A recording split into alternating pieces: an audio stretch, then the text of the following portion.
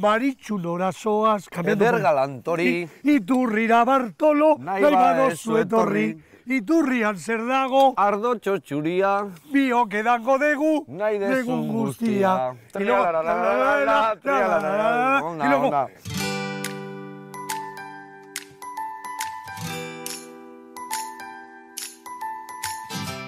Uno de los puntos fuertes de nuestro país es el paisaje. Cada rincón de Euskal Herria tiene el suyo y cada cual más bonito y más sabroso. Son lugares para comérselos, como los que tiene el Duranguesado, con un montón de pueblos rodeados de montes. Pueblos como Mañaria, que están en el Parque Natural de Urquiola y tiene un skyline de vértigo, con montañas como Herrialtabaso, Untillais, Mugarra, Saibi, piedras de mil metros de altura. Pero de momento me voy a mantener a ras del suelo, que es donde puedo disfrutar de las historias a bocado de Mañaria. He quedado con Enrique en un laboratorio. Veo animales de mar, un poco raros la verdad. No creo que sean bichos de los que vayan a acabar en la cazuela. Enrique, ¿qué nos toca hacer, rollo? ¿Qué estamos haciendo? Pues mira, en estos momentos estamos preparando el secado de diferentes ejemplares. Algunos ya están medio secos, otros a Los punto de secados, secarse. ¿cómo? O sea, los Bueno, secas- pasan de la parte líquida, que primero se conservan en líquido, para ¿Qué que... tenemos ahí? Pues hay peces de diferentes clases. Vale, pero cuéntame, ¿cómo la fase líquida? ¿Esto está, viene vivo? Bueno, esto eh, normalmente aparecen en los barcos de pesca. Sí, Estos son concretamente del Mediterráneo, que me mandan los patrones de allí. sí. Eh, vienen congelados normalmente. ¿eh? Por agencia los mandan congelados. Luego yo los meto en el líquido conservante. Líquido les- conservante, ¿qué, qué es? ¿Qué y líquido? son alcoholes, normalmente es alcohol. ¿Alcoholes ¿eh? especiales para esto? Sí, alcohol con una serie de cosas, O pero sea, ahí lo que se hace es disecar, lo que se llama No, disecar. disecar no, se les hace, bueno, vamos a llamarle disecar, eh, conservar. Disecar es un poco más otro sistema para mamíferos o para aves y cosas Vale, estas, ¿eh? Esto es que para que no se pudran, se meten en el líquido, se les tiene un tiempo, según la especie, pues Sí, más para que no tiempo. se tiempo. arruguen y para que no Sí, pierdan la forma, ¿no? Y luego se les saca y se les pone así, se les sujeta con palillos, en este caso, pues para que no se levanten igual los No brazos. se retuercen, Para ¿no? que tengan una postura. Ahí se ponen ¿Ahí qué estás haciendo, por ejemplo? Fíjate, que a este le, estás, le has puesto Este ya aquí en la está cárcel prácticamente esta. seco, ¿no? Es un erizo de mar, Sí. también del Mediterráneo. Es uno de los mayores del mundo. Fijaros las púas que tiene, que hay púas hasta de 15 centímetros. ¿eh? Entonces se le sujeta por como tú quieras que queden las púas, pues le sujetas con estos palillos chinos Vale. ahí, todos o sea, para lo- que quede los palillos bonito. muchas veces igual vienen sueltos o se caen y tú los has pegado. Exactamente, también algunas púas se le añaden porque igual le falta o O sea, cosas no, de este no- no tipo, te aburres aquí. Veo que, No, que yo pensaba que tenía cosas en el obrador, pero esto, eso, esto es otra una pasada No, lo que aquí, tienes aquí. además ¿eh? siempre tengo ocho frentes abiertos. Mira, hay un insecto, aquí hay una raya del Amazonas, ¿eh? de agua dulce, curiosamente, que la gente no conoce que en agua dulce también hay rayas. Vale, he estado en sitios especiales, pero, pero ¿esto qué es? ¿Dónde estamos? Bueno, pues estamos, en principio estamos en Mañaria, lógicamente, ¿no? Y es en un, eh, un laboratorio de un museo. Entonces, aquí se preparan las cosas, tanto para exposición como para intercambios con otros colegas del mundo, Pero con eh, otros esto museos. no me sabía que tú tienes el museo y tú eres el que recopila y el que hace todas estas cosas. Yo pensaba que un museo lo montaba uno, pero le llegaban las cosas Bueno, secas. yo creo que soy un ejemplar de esos raros que hay por ahí en la vida, ¿no? Es decir, que aparte, desde los 12 años que comencé un poco la recopilación de caracolitos y cosas de estas, hasta hoy en día son 58 años de trabajo. y en 58 ¿Cuántos- años, ¿Cuántas cosas habrás recopilado entonces? pues mira, hay en los almacenes eh, 38.000 dados de alta. 38.000. 38.000 ejemplares, pero, hay Pero muchísimos... ya existe tantas cosas. ¿eh? Uy, hay millones, hombre. ¿Cómo empezaste? ¿Cómo te dio por esto? Bueno, pues son cosas de esas que pasan en la vida, ¿no? A los 12 años se me ocurrió empezar a recoger caracolitos por, por las playas. Lógicamente, con 12 años, ¿qué vas a hacer cuando vas con tus padres a la playa? Pero en un momento dado, fuimos al acuario de San Sebastián, que era lo único que había de ciencias naturales en, en toda Euskal Herria, ¿no? Y entonces al ver el acuario me vino, y ya eran con 14 años, a la cabeza que se podría crear un museo de ciencias naturales en el futuro. Y ahí, esa idea es la que luego ha seguido hacia adelante. Bicho que caía en mis manos, bicho que veía a un pariente, bicho de algún amigo, todos me iban dando, iba acumulando, hasta hoy en día. ¿Tú disecabas o los guardabas o los metías en, en no, los- yo lo- normalmente eran ejemplares que tenían en casa, entonces ya los metía a las cajas. ¿Qué es esto? Sí, bueno, una, es una pata, pata de, de un cangrejo. Pero cangrejo de coral este, ¿no? Porque tiene una pinta de coral. ¿De dónde viene esto? Este es un cangrejo mediterráneo que vive eh, a bastante fondo, entre 700 y 800 metros de profundidad. Están ahí preparados para la didáctica de los eh, chavales que vienen de los colegios de visita, etcétera. Bueno, pues ¿Ya has probado todo lo que hay aquí? Mm, No, yo he todo probado no. algunas cosas como alguna langostita de vez en cuando o alguna cosa. Pues solo lo bueno, ¿no? y algún cangrejo. Vale, vale. Pero yo, mi mente trabaja siempre con vistas al museo, por lo tanto estamos que al museo. Pues yo, quieres, te, te- te ayudaré aquí a, a poner algunas patitas rectas, pero lo que quiero es ya ver el museo. Tengo Bueno. muchas ganas. Pues a eso vamos a ir. Dicen que la paciencia es una virtud y Enrique es un ejemplo de esto. Ha recopilado 38.000 bichos en 58 años. Toda la vida trabajando como una hormiguita para poder abrir Onza Museoa. No soy muy de museos, pero esta vez, claro que sí, haré una excepción. Qué bonito es pasear por las calles de Mañaria, donde viven sus 500 habitantes. Pero también es espectacular salir un poco a las afueras y disfrutar de un paisaje que quita el hipo. Claro que no había pensado hacerlo a caballo. ¡Buah! ¡Qué lujo! Ahí va, un jinete por Mañaria. A ver quién es. Caixo. Hola, Hola. ¿Qué tal? Bien, muy bien. ¿Qué? ¿Tú siempre vas por en caballo por Mañaria o qué? Siempre que puedo yo voy en caballo.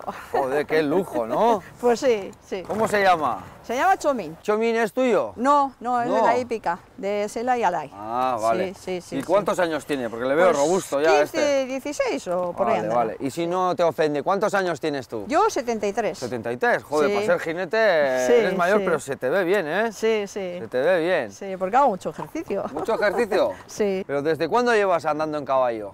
Eh, 10 años. Ah, 10 años. 10 O sea, has años. empezado tarde. Sí, sí. Pero te sí. gusta. Jo. ¿Y qué? ¿Desde que te has jubilado o cómo es? No, no, no, no, No. no, mucho antes, mucho antes. Mucho antes, pero me has Es que dicho yo me jubilo con 72 años. Con 72 años. Claro, claro. Joder, los de antes no, no, no sabéis no trabajar o qué pasa. Ya, pero las circunstancias de la vida han sido esas. Vale, y, y estás en forma para tener la edad que tienes. Aparte Sí, de montar sí. en caballo, ¿qué? Pues también hago gimnasia, body pan. Body pan. Body pan, sí. Yo hago pan, pero lo del body Pero no, lo del no body. entiendo qué es eso del body. Pues eso se hace con barra, con las hay, pesas. las hay. y- Ah, o sea, con barras, pesas, Sí, ¿qué, sí, gimnasio. sí, Gimnasio, sí, sí. sí. Gimnasio, ¿eh? Sí, Joder, me sí. tendrás que enseñar a mí también para no Pues sí, perder yo la te forma. enseñaré. Sí. Si vienes una vez a la semana, Vale, vale, pues yo encantado. Montar en caballo y hacer un poco de body de pan. body pan, eso es. Sí, sí. ¿Y cómo que te ha costado tanto jubilarte? ¿Te gustaba tanto el trabajo? Pues resulta que cuando fallecieron mi madre y mi hermano, yo me quedé con el bar. Y claro, para quedarme con la casa. Ahora que es era- hostelera, como yo, entonces. Vale. Como mm, me quedé yo con la casa, en la parte de cinco hermanos, pues tuve que pedir un crédito. Entonces, hasta pagar eso, me ha tocado trabajar. ¿Y tienes familia? sí, ¿Tienes tengo hijos? tres hijos. Tres hijos. La mayor Eli, Gaiska y Iván. Vale, ¿y, y nietos? Nietos tengo cuatro. Cuatro Pablo, nietos. Vale, vale, se está ampliando la familia. sí, sí. Y los hijos, me- Iván y Eli, se han quedado con el bar. Bueno, entonces teniendo un bar hasta hace un año que lo llevabas tú y ahora que lo llevan tus hijos, imagino que no te ha tocado separarte demasiado tampoco, estarás no, ahí pero todavía. ahora ya es otra cosa, ya no me tengo que preocupar tanto. No, no. De vez en cuando les superviso un poquito a ver si hacen las cosas bien. Ya y- dirigirás también, Sí, ya sí, dirigirás. sí, sí, sí, sí. Pues dicho esto, ya me gustaría a mí ir al bar ese que Vale, dices que ya no diriges, pero a ver qué hacemos, a ver qué tenéis por ahí. vale, vale, Bueno, pues vamos dando un paseíto. sí. Perfecto, Wasen. Vale. La amazona ha resultado ser Eufemi, una mujer de setenta y tantos años, jubilada de un oficio que no es fácil de dejar, la hostelería. Me ha dicho que quieta no puede estar, y sí, sí, conozco muy bien esa sensación, que es la que hay en mi casa, con el Aitá y la Ma que todavía están al pie del cañón. A ver qué gastronomía rica, rica sale de sus manos. las historias a bocados de Mañaria empiezan a coger un buen color, como los buenos platos. Mi siguiente cita es en un taller mecánico, con José reparando motos viejas. Brum brum, me encanta. Si yo no hubiera sido pastelero, seguro que le daría a la mecánica. La cosa es pringarse las manos. Le apretamos otro poquito. Ya está. Tac, o sea, ya le has dado... Ah, porque tiene dos tubos de escape, claro. Claro, tiene un Pero cilindro Un cilindro y dos escapes. y dos escapes. Eso es algo eh, raro, ¿no? Algo raro. Antes había muchas motos. Las multacos también tenían. bultacos, vale. Y había incluso algunas que tenían hasta ¿Esta dos- qué dos moto es? ¿Una? Esta es una Peugeot Movesa modelo C55, T55, de 125 centímetros cúbicos del año 61. Y has tenido que desmontar entero esto, claro, ¿no? esto se ha desmontado entera y se ha restaurado entera. Y esto... fu- y funciona, y- claro. Sí, eh, funciona. O sea, esto ¿Cómo? va... Funciona de maravilla. ¿Cuántos kilómetros puedes? ¿Ahora están preparados estos para hacerte un algo o es Pues, más a para, ver, para rutas a de ver, para una rutita de decir, Pa- bueno, salgo ahora de aquí a mañana y digo, pues. Me voy a Durango a tomar un café, Una, ¿no? Tal. Durango a tomar un café, o me voy hasta Morevieta, subo a Monte Calvo, un día de estos que haga bueno. Y veo que aquí tienes más joyitas antiguas. Sí. Esta es una- Guapísimas, Esta ¿eh? es una mobilete Una mobilete, ¿eh? modelo AV69 del año 74. O sea, fíjate los añitos Es que tiene. mítica. Y es- esta, estas además eran vascas, ¿o de dónde se hacían Esta estas? se hacía en el barrio de Chonta, en la GAC, Garate Alito Icía, en Eibar. En Eibar, ¿no? Vale, Eibar. vale, vale. Esta salió de Eibar. Joder, esta es de la época de las escopetas, entonces, ¿eh? Efectivamente. Joder. Barrio de Chonta, el barrio por excelencia donde más aparatos han hecho de, Europa. aquí una Benelli. Esta es una Benelli 125.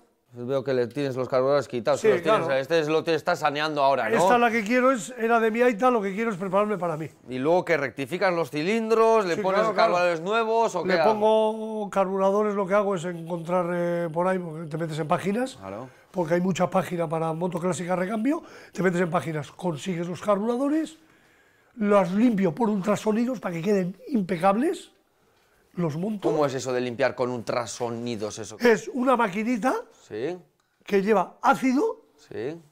es como, digamos, la bandeja de la freidora. Sí. Tú metes ahí todos los componentes, claro, le tienes que quitar todos los plásticos Sí. y le metes corriente. Y la corriente, el Con ácido, ultrasonidos ahí le... le hace vibrar, entonces limpia los chicles, claro, te quedan los carburadores Como impolutos. nuevos. ¿Pero esto qué es? ¿Un taller de trabajo? ¿Es tu No, hobby o qué, qué- Este qué- es qué mi esto? hobby después de trabajar. Es tu hobby después de trabajar. Después vale. de trabajar toda la vida, me lo enseñó mi aita y pues me Vale, encanta. ¿qué- ¿cuál es el cacharro que tengas que digas, hostia, este es el que más destrozado vino? O este es el que más cariño le Sí, tengo. joder, me vino cuando era yo muy pequeño, me acuerdo, mi primera moto fue una Derby Diablo, Derby Diablo. de 49 centímetros cúbicos.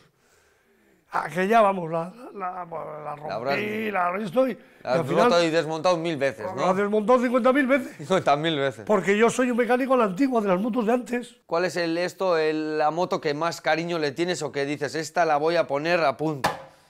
Esta, Esta, la la Menelli, sí, la ¿eh? Hombre. ¿Qué años tiene esta moto? Esta es del 74. Del 74. ¿Y por qué le tienes tanto cariño Hombre, a esta? porque esta la compró hace años- muchos años mi y luego ya la he heredado yo.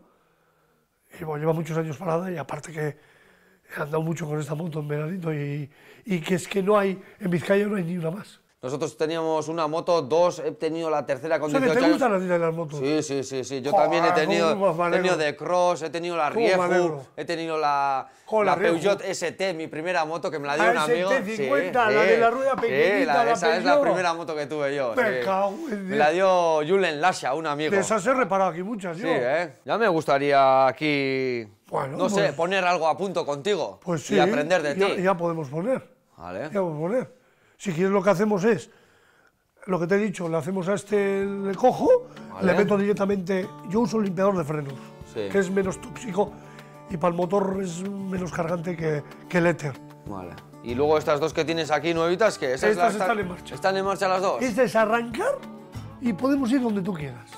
Bueno, Además garantizado, ¿eh? pues yo me encantaría ta- también darme una vueltita, ¿eh? Con una Claro, moto mítica por de estas. que sí. ¿Qué? ¿Damos una vueltita? ¿Comemos algo? Eh, Te he preparado algo rico, rico. Como dice tu aita, rico, rico. Sí, buah. ¿Qué? Vamos, a ver si me sigues. Buah, Pues igual no, ¿eh? Igual La no, ¿eh? anda mucho, ¿eh? Ah, vale, vale.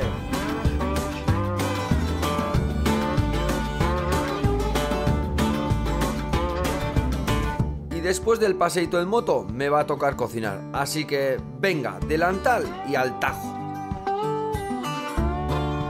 Como a Enrique le gusta mucho el mar, qué mejor que un buen pez. Lo primero, picar bien el ajo. He elegido el rodaballo porque no es muy típico que lo hagamos en casa. Lo salamos, lo pasamos por la sartén hasta que quede la piel doradita y la carne en su punto, cortamos las gambas, las salteamos en la misma sartén con un poquito de ajo, añadimos una camita de setas pochaditas y a decorar. Estáis en un sitio Estamos, espectacular, sí, ¿eh? siempre en la naturaleza. Por Bueno. eso tenemos la naturaleza ahí. Habrá que darle a esto un poco antes de que Pues, se fosilice, ¿no? Sí, sí, antes de que se enfríe. Ya he visto que coleccionas o... ¿Cómo le llamas? ¿Coleccionar? ¿O cómo le llamas? Bueno, eh, son colecciones científicas, pero sí, colecciones. colecciones. Pues te he traído algo que, que está relacionado con las arenas que tienes ahí, con las conchas, los crustáceos y a Sí, ver bueno, si te gusta lo que te he veo, traído. mira, hay un pez, hay crustáceos y hay naturaleza también de fungi aquí de setas. o sea Eso que es. Fantástico. Un popurrí. Este museo será importante a nivel de Euskadi, ¿no? Porque yo no he visto tanto bicho junto Bueno, en yo ningún lado. considero a nivel de Euskadi, el a nivel de la península y a nivel europeo incluso. O sea, que Sí, ¿eh? quitando los grandes museos, ¿no? Y lo que nos falta quizás sea espacio. Pero a nivel de género de presentaciones, yo creo, considero que es un gran abanico de ejemplares de la biodiversidad, ¿no? Viendo lo que haces, te gustará viajar, pero para encontrar objetos nuevos o viajarás a sitios que no has estado, ¿o ¿cómo lo haces? Bueno, antes viajaba más y ahora también en vacaciones, cuando voy con la señora, pues yo me dedico a lo mío, que es ir a ver museos o a recoger ejemplares o arenas del mundo, etcétera, ¿no? Pero bueno, es, es un mundillo, ¿no? Es, de- en 58 años que llevo trabajando, creo que hay de todo para contar y a ver, ¿Y, ¿no? y- esto qué es? ¿Un hobby para ti? ¿Es un trabajo? ¿O ¿De dónde te ha venido? Bueno, ¿De- ¿A qué te dedicas? Desde el momento que no hay un, un sueldo por medio ni se trabaja para ganar dinero, es un hobby. Pero solo por ese motivo, porque el trabajo es un trabajo serio y real, ¿no? Yo he estado 37 años de profesor en los maristas de Durango. Vale, o sea, tú, tú has sido profesor, has tenido Sí. tus trabajos. Ahí he tenido mío y de mientras, eh, fuera de horas, pues hacía este tipo de cosas. Es la leche que, que hayas, tu hobby lo hayas convertido en un museo. ¿Cómo? No, la verdad que solo hace falta ser un poco loco para este tipo de cosas, ¿no? Porque es un trabajo que nos ha costado mucho dinero, mucho trabajo y gracias a mi yerno, a mi hija, eh, que lo hemos hecho entre todos, pues ha surgido y se ha podido hacer, pero poco a poco. Hasta ahora solo ha habido un- unas pequeñas ayudas para obras que se han realizado, montaje de una sala de exposición, entonces para eso hay ayudas, no para obra, ¿eh? la obra no, no se Ni subvenciona. para ahora, ni para conseguir los artilujos o los animales o todo No, esto. no, para eso es una poco labor de, de colegas, es decir, intercambio con otros colegas de todo el mundo, que son los que hemos... eh, O sea, como quien dice, tienes otros amigos nosotros. frikis que se dedican a esto y andas Sí, ahí... bueno, son investigadores que hay por el mundo. En mi campo de trabajo ha sido el marino siempre. Eh, lo demás ha sido un complemento, ¿no? De donaciones de colegios y cosas de este tipo, que por eso tenemos mamíferos, tenemos aves, Vale, que sea- luego veremos, ¿no? Porque la función principal del museo es esa, dar a conocer y- lo que es las ciencias naturales. ¿Y tienes ¿no? muchas especies, por ejemplo, que tienes en el museo que ya no existen o que ya se han desaparecido? o- No, hay alguna, alguna de esas antiguas, de las cesiones de los colegios, de monjas y de frailes, que son los principales que han donado. ¿Sabes? Esos tenían, igual de, tengo ejemplares de hace más de 100 años. Ahí. Sí. Entonces, de ahí hay algunos ejemplares que hoy en día, si no han desaparecido, están a punto de desaparecer.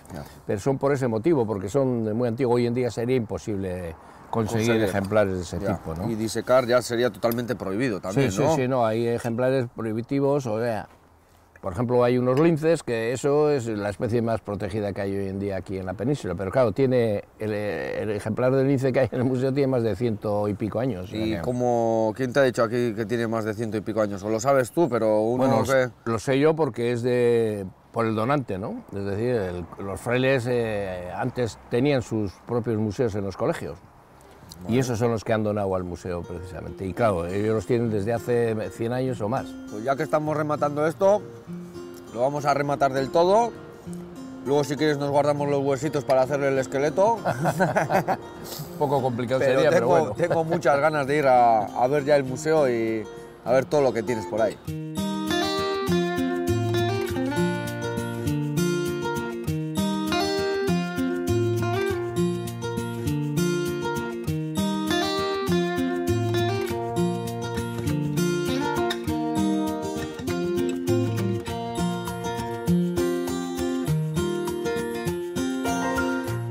A preparar unos chipirones. Pues Cómo sí. me gustan. Es- pues mira, La verdad es que la Aita cuando tiene el caserío chipirón, arroz blanco, pones no falla, no falla, me pongo morado. A ver, cuéntame cómo es vuestra receta secreta esta. Vale, pues nosotros primero picamos la cebolla, bien Sí. picadita, Vale. y lo pochamos suave, suave, suavemente. Cinco o seis horas las que hagan falta. Que saque el caramelo, ¿no? Que Exactamente. caramelice bien. Después, cuando ya está eso pochado, Sí. Eh, eh, tenemos el- lo que es las patitas de, de chipirón. Las patitas Lo- y la lo- cococha, Lo ¿no? sacamos Vale. y, y mezclamos con, con la salsita, eh, con la Con la cebolla bien pochada pochadi- ya. Pochadita. Y también se cocina eso un poquito, un Vale. ratito, un poco. Y después se saca lo que tenemos pochado Sí. y se rellena el chipirón. Ah, o sea que hacéis la cebolla bien, bien pocha, caramelizada, salteáis las tentáculos y la Sí, esto, sí. y rellenáis con el pochado dentro. Eso es. Vale, vale, eso, el truco no me sabía. ¿Y por qué has elegido este plato? ¿Por qué Pues, vamos a hacer aquí? eh, Pues porque es... Yo eh, pensaba comer unos callos o algo. Pues puedes comer también, Ah, pero el vale. chipirón es, es el plato fuerte El de... plato fuerte, Sí. el plato estrella de la casa. Sí, y chipirón y luego callos y morros. Callos y Y morros, luego ¿eh? también tenemos eh, pimientos rellenos, de chipirón también, de la misma, del mismo relleno. Y de- hacemos también pimientos de bacalao, de... Bueno, los pimientos variamos un poco. ¿Y aquí qué? Aquí se puede decir que, que tienes un club de fans de los chipirones aquí Sí. en Ma- Mañaria. ¿o En qué? Mañaria tengo más en Durango. ¿Más en Durango? ¿Te vienen Sí, desde Durango aquí de a Durango, chipirón? De Ochandiano tengo muchos clientes. Joder. Y de Durango puedo decir que tengo clientes. ¿Pero es verdad que tú has delegado esto a tus hijos o es que te, te Sí, veo sí, aquí sí. como en casa? Sí, pero bueno, pues que estoy en mi casa. Yo vivo vale, aquí. Vale, vale. Entonces, tengo clientes, bueno, tenemos clientes de, de Durango que, que han venido con, con una niña de nueve meses, sentados ahí en la mesa larga, con cuatro hijos, y la niña de nueve meses le daban pan untado con el chipirón y con todo el morro negro. Y esta familia, pues, la niña tendrá ahora 12 o 13 años, sigue viniendo y sigue comiendo chipirones. O sea, probó aquí con nueve meses sus primeros chipirones El- la salsita y sigue viniendo aquí y a sigue comerlos. viniendo a comer chipirones. Ope, vaya lujo. Y a ver, por ejemplo, esa familia, en cuando tú has delegado esto y ahora me imagino que harán tus hijos los chipirones, sí, sí, ¿no? Sí, sí, sí, sí. ¿Y dicen que la mano se nota o No, no? no. O sea, les has enseñado bien, ¿no? bien, sí, sí, sí, Vale, sí. vale. sí. Y qué, qué lujo, a mí me, me da envidia porque nosotros siempre hemos tenido restaurante, hemos cocinado para restaurante, pero un bar al lado que le, que le das la comida en el bar, el ajetreo de- del día a día del bar, el cotilleo, Sí. ¿cómo? No tendréis Pues- tiempo para aburriros, ¿no? Os habréis No, va, aburrido va, aquí, va. ¿no? Bueno, bueno, hacemos unas risas. Bueno, porque viene cada uno que, que para qué te cuento. Sí, ¿no? Sí, algunas veces sí. Bueno, ya veis, ¿eh? La magia de la tele, ¿eh? Qué Sí. bien lo has pochado, ¿eh? Sí. Qué bien. Yo Le has echado sí. las patitas, Sí, sí, ya eso ya está. tiene Yo un ya- caramelizado... Sí. Que yo me lo comía a cucharadas, eso, ¿eh? bueno, yo ya creo que es el momento de rellenar, de rellenar, vale, pues venga. Vamos a ponernos aquí. vale. Se ha cogido demasiado, yo creo, ¿eh? Pues la cuchara es demasiado grande. Mira, qué rápido lo he hecho. La práctica, para algo vale, ¿eh? Ah, vale, hay que agarrar de una esquinita Claro, así. y vas empujando con la Enséñame, cucharilla. Enséñame, Claro, ves, coges y ahora Tac, metes así la sí. cucharita y le vas empujando así. El siguiente ya no me ganas, va. Eh, Femi, ¿cuántas horas has metido tú aquí en Pues, la cocina? pues, pues muchas, porque esto tiene mucho trabajo. Sí, ¿no? Quizás el plato que nos da más trabajo, el Sí. ¿eh? Sí, sí, O sea, sí. El plato por- estrella habría que cambiar entonces, porque vamos, si te da más trabajo es Aquí venimos estrella... estrellados. Vale, entonces ya lo que nos queda es acabar esto, meter en la tinta y ya me cuentas en, en la mesa lo que nos queda, ¿vale? Vale. Sabía yo que Eufemi, aunque esté jubilada, seguía siendo la jefa de Arritoki. Me ha metido hasta la cocina del bar para sacarse de la manga unos chipis en su tinta que vaya pintaca que tienen. Ay, ama, la tradición es sabia y sabrosa, con esas recetas que se transmiten de generación en generación. Pintaca también tenían las historias abocados de Mañaria antes de empezar, y en eso seguimos dándolo todo. Gracias a José podré decir que he disfrutado del paisaje también en moto. Este hombre es mecánico por hobby y suerte la mía. También sabe cocinar porque lo que hay en la mesa huele de miedo. Esto no tiene precio, ¿eh? Aquí alguno pagaría ya mm, un dineral para poder de estar aquí con nosotros. Después de que hemos andado allí enredando con los cacharros y tal, ahora vamos a comer, ¿no? Bueno, voy a servir esto para Esto- ver sí, lo un bien que te ha enseñado la ama. Guisado de, De de corzo. De corzo, ¿eh? Sí, Está ya verás qué rico está. Esto... Bigum, bigum, vamos. Bueno, primero para ti. Muy bien. ¿Y qué era? ¿Mecánico tu padre? Sí, bueno, él en realidad, eh, él estudió eh, para tornero, pero siempre su... Con manitas como tú. Es mecánico. El primer taller me montó él y siempre, ya te digo, todo lo que sé es él. ¿Y taller que teníais en el caserío? ¿En el No, debajo de casa, no, el garaje? al principio taller teníamos en Yurreta, Yurreta. garaje Bilbao. Muchos Vale. años tuvimos. Vale. Él luego dejó el transporte, Sí. estuvo unos años con mi difunto hermano y conmigo con el taller. Sí. Y luego cuando ya vio que el negocio ya dice, puedo dejar en manos de mis hijos, ya lo llevábamos nosotros. Vale, ¿qué me has dicho? Has dicho difunto hermano, tenías un hermano también. Sí, un hermano que murió ya hace, uf, en el 2014. 2014. No, miento, en el 2004. 2004. Ya son 14 años, ha pasado el 8 de septiembre. Y aquel era como yo también apasionado de las motos y la mecánica. Vale. Y entonces tú te has dedicado a la mecánica toda tu vida. Sí, prácticamente, menos una temporada que mis padres se empezaron a poner muy malos. Mi padre, con 58 años al pobre le detectaron Parkinson, Sí. ha muerto ahora recientemente con 82, bastante maduro, pero lo que pensaba yo. Y mi madre también con 54 años, eh, osteoporosis. O sea, Entonces, mi madre dura, se ¿no? prejubiló a los 60 y mi padre también con 60 le, le preparamos la jubilación Bueno, o sea, anticipada. dejaste todo al lado para dedicarte Sí, a la familia atenderme y a ellos, tan- atenderme a ellos. Entonces, eh, al atenderme a ellos, pues estaba en casa, pero también hacía mis chapucitas en el taller que ves ahora. Vale, vale. Porque yo vivía, yo vivo justo encima. Dejaste de ser profesionalmente un taller. Profesionalmente, pero, para dedicarme. pero el hobby no has parado. El hobby no. No has parado. Indirectamente no he parado. Aunque luego he ando de mensajero, de otros trabajos, Sí. porque me encanta conducir a mí. Bueno, ahora ya menos. Con la edad ya, ya Ahora ya las motillos clásicas, darte unas vueltitas. prefiero, disfruto más darle una vuelta con la motillo clásica, yo qué sé, irme a Morevieta por Monte Calvo, que conducir.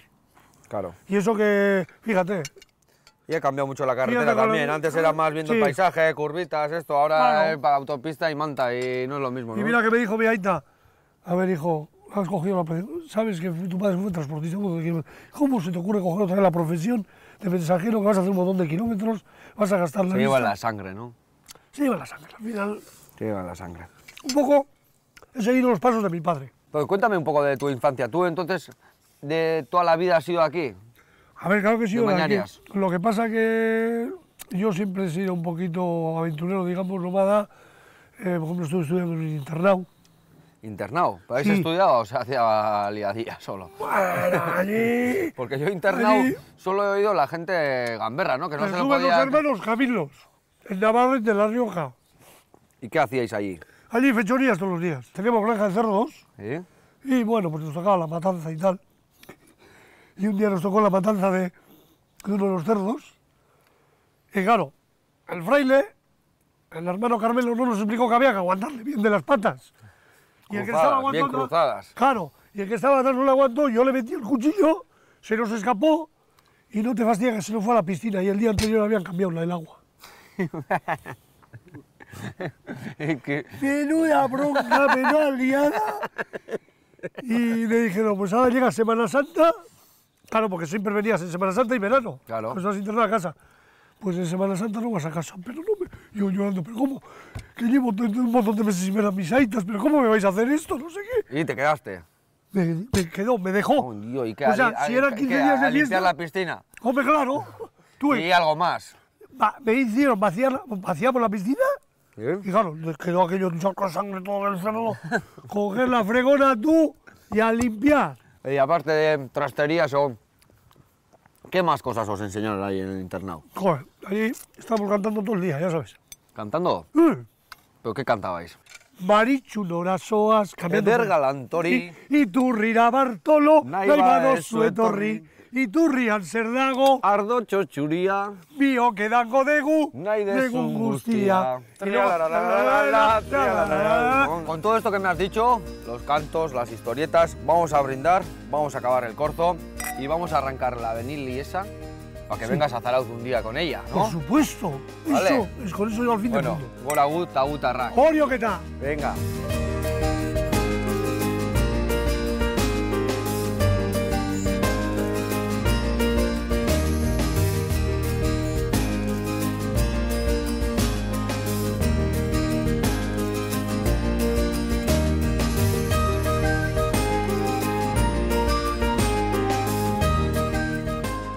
Alucinando. ¿Qué de bichos tienes aquí? Bueno, pues mira, unos cuantos, ¿eh? Unos cuantos y ahora dos más. Aquí estamos en la zona de bichos más. grandes ya. Bichos grandes, sí, sí. Ahí la zona exótica, aquí la zona europea.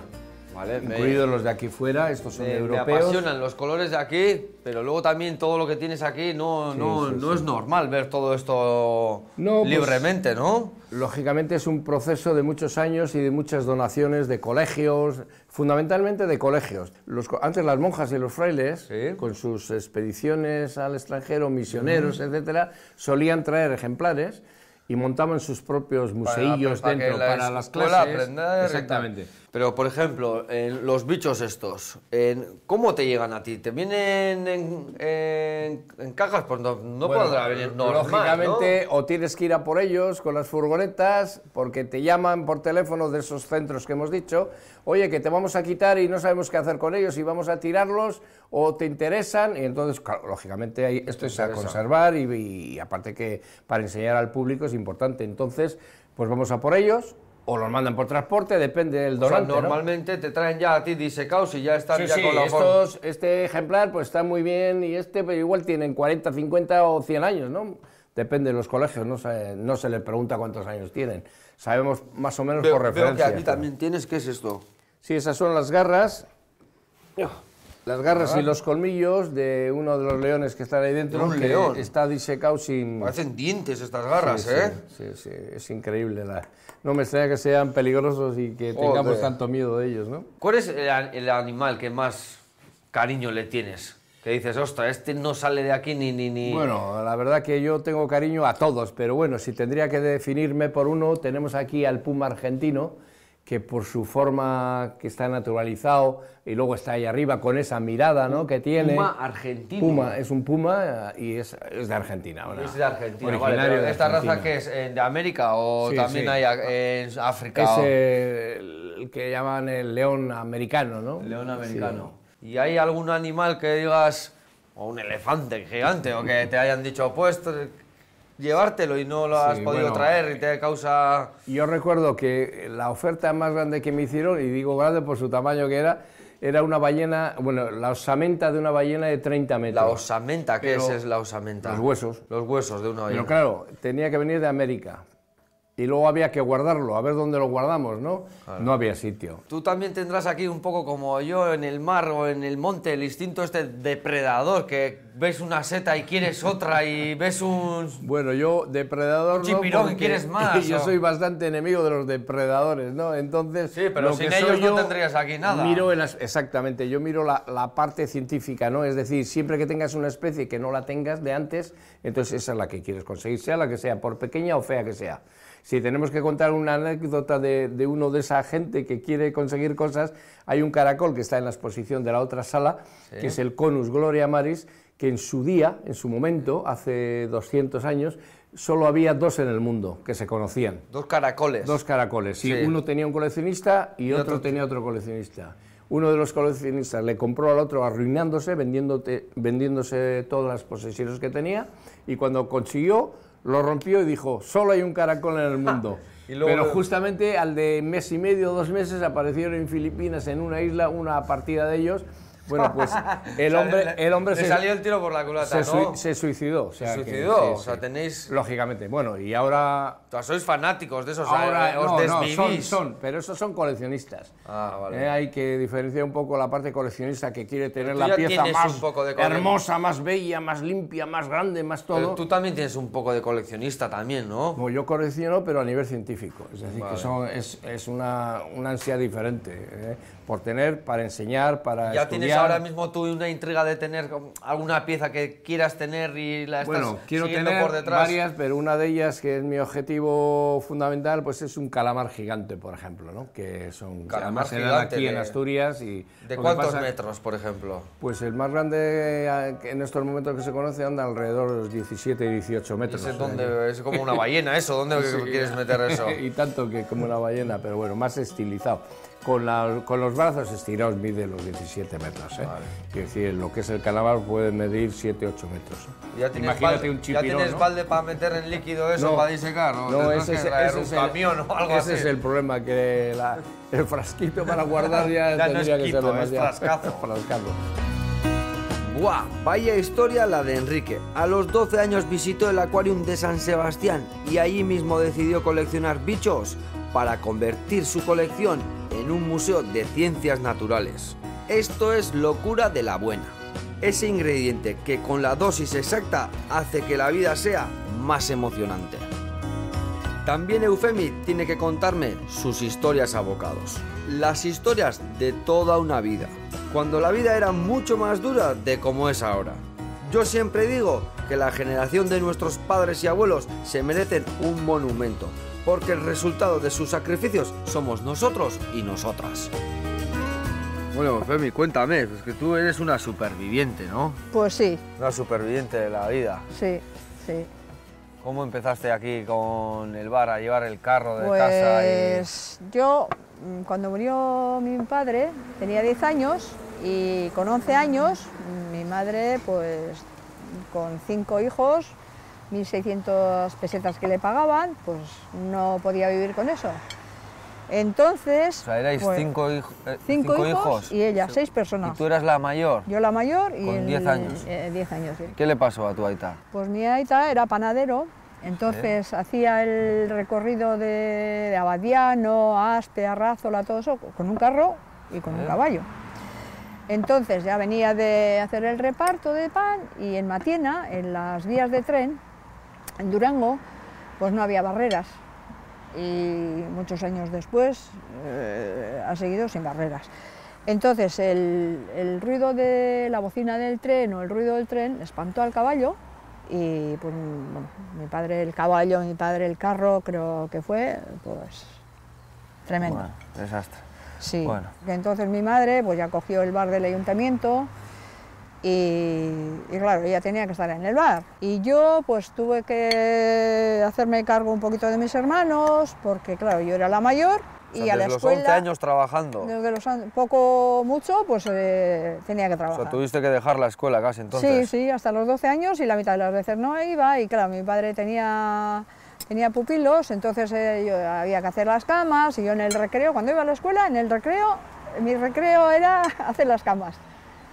Y, ¿Cómo era antes la vida? Eh? ¿Cómo ha cambiado? Ahora Buah, pensar que una niña de, de sí. 10, 11 años tendrá que Sí. hacer todo eso. Sí. No, no, no, no se lo pueden creer los, los niños de ahora lo que la verdad es que, es increíble lo, lo que, habéis hecho. Sí. Os merecéis un monumento. Sí, y Monumento. después pues eh, estuvimos ahí en el bar de arriba hasta que yo tuve pues 20 años.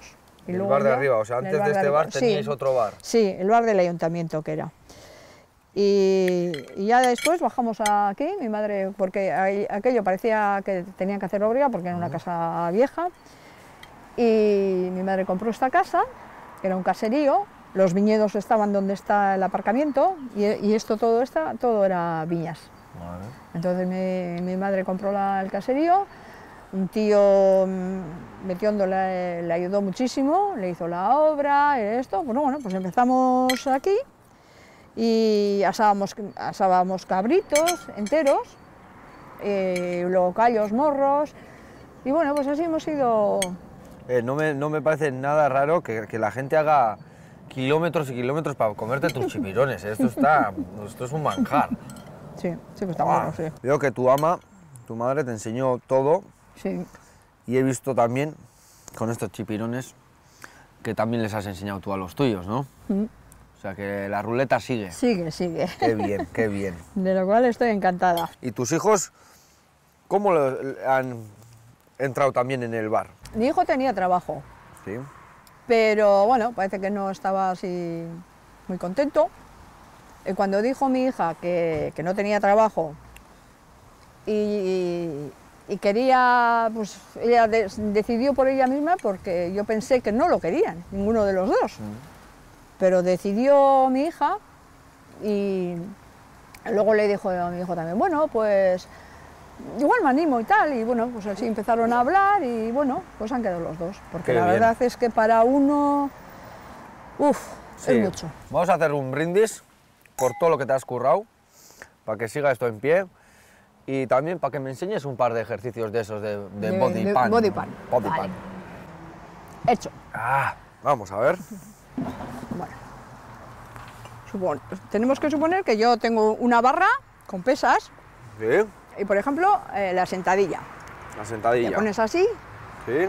aprietas la tripa para adentro, para adentro, para adentro y el culo para otro. Sentadilla. ¿Y, y también flexiones o Sí, qué? hacemos flexiones también. Venga, Yo, sí, bueno, yo, espera, espera, espera. Yo creo que nos estamos viniendo arriba. Yo creo que vamos a acabar de comer los chipirones y hacemos luego. y luego, si, Si tenemos tenemos, un tiempo, hacemos los ejercicios, ¿vale? Vale, vale. Venga.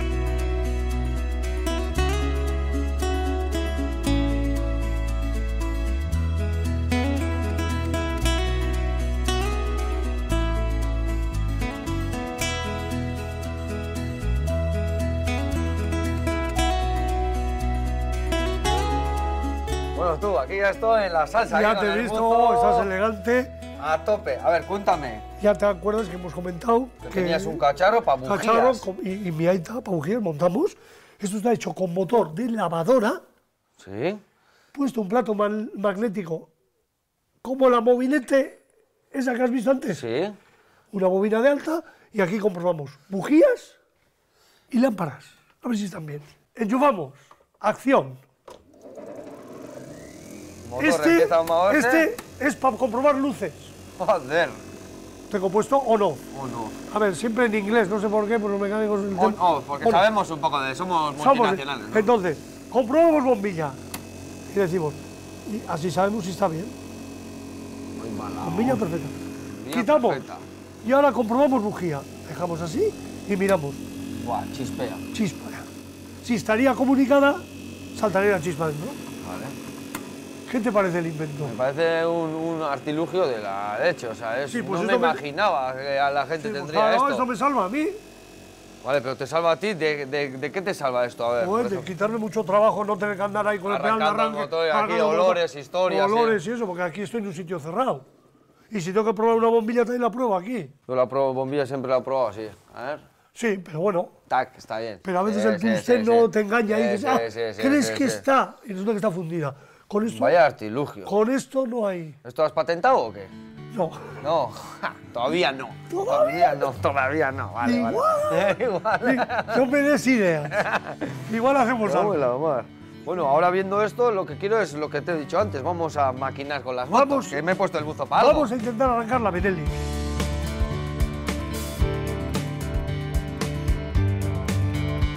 Vamos a mirar primero a ver si tiene chispa. Que sí tiene, porque A mira, ver. no pasa caro. Esto a ver.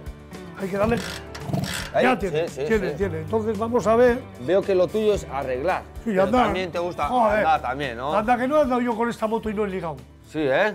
Esto, O sea, el que tenía Ve- Vespa tenía Nesca. a mi ¿Cómo primera era? novia formal le enseñé a andar con esta moto. Sí, ¿eh? Por ahí vamos por cara y casi se me despeña. Me cago en ¿Y con cuántos años sacaste tú el carnet de moto? O Yo sea, con 18, carnet de moto y de, y de coche, todo. antes de tener el carnet seguro que has andado tú también. Ya tienes Hombre, claro, claro. ¿Qué- ¿Cómo te crees que andaba con la Derby Diablo aquella que te dije, pues? Y con las eh, motos de enduro y de cross. Pues claro, porque soy un, un poco pirata. Siempre, como siempre he tenido moto, pues... Eh, Joder, José, habías venido con la motillo y tal, una vueltita y tal. Bueno, chavalas en Durango, y bajar yo con la moto, montarse en la moto, tenía yo entonces una Vespino también. Buah. ¿Y ahora de amores qué tal? O sea, ¿tienes hijos? Bueno, ¿Tienes- ahora mismo pues lo que estoy es divorciado, tengo dos hijos, dos hijos mayores, uno de 17 y otro de 15, que va a hacer ahora 16. Hostia, esos ya les estará picando la moto también, ¿no? Eh, les gusta andar, pero salsear, No. eso de mancharse las manos, Ahí está Harry Hondo. ahí está, alta. Harry, no, pon esto bien y... ah, pero le gusta, el pequeño más grande, porque el pequeño no ha cogido oficio. Electricidad está haciendo. Vale. El mayor va a salir un poquito más pijillo, digamos. Sí, Pero bueno, ¿no? es lo que hay. Bueno, son las Quiere ser épocas, son diseñador, épocas. Bueno, diseñador de bueno, moda. Pues, va, pues que diseñe. Que diseñe. Igual le pone un asiento nuevo a esto, sí, pues sí. una- unas No, flepas pues, por aquí. Él dice que, es- que él es mi personal shopper, el mayor. Vale, Y vale. él, pues me ha teñido el pelo, me dice cómo cortarme. Bueno, yo me dejo. Muy bien, muy bien. Yo me dejo. Yo con mis hijos. Yo soy un padre moderno. Sí, ¿no? A disfrutar de la vida y No a ser felices. viejo. Cuando dice 52, tengo 52 ahora. Uh, ahí está. Ya, has- ya la mitad de la vida ya has gastado. Estás viejo. Le digo, viejo, todavía corriendo os gano, cabrones. Sí, Le ¿no? suelo decir yo. Viejo, de cuál era viejo. Agárrame la mano, eh, Agárrame. agárrame si tienes, ¿no? Y la TZR esa 50 que, que tengo ahí una moto ahí a la Sí. vuelta, esa quieren para ellos. Les he dicho sí, pero tenéis que estar vosotros en el ajo también. Claro, a Pues, ver si- Ahí está, pues restaurame, píntame, no. Aquí, A a, ponerse el buzo como te has puesto A- tú a mí- y al tajo. Yo así tuve mi primera moto, porque no tenía taller, pero yo ¿Y puse sacar terrazas, sacar botilleros, sacar de todo, todo el verano, Y yo mi para primera- comprarme la Rieju. Y yo mi primera bicicleta con el padre, a por fardos, con el Sí, camión, ¿no? y a levantar el fardo. ¿Quieres bicicleta? Sí. Toma, al tute. Bueno, a ver si la arrancamos, porque esto me estás dejando sorprendido. Con líquido de freno, sin, Sí, sin carguladores Sí. y arrancando la moto. A ver, dale, dale.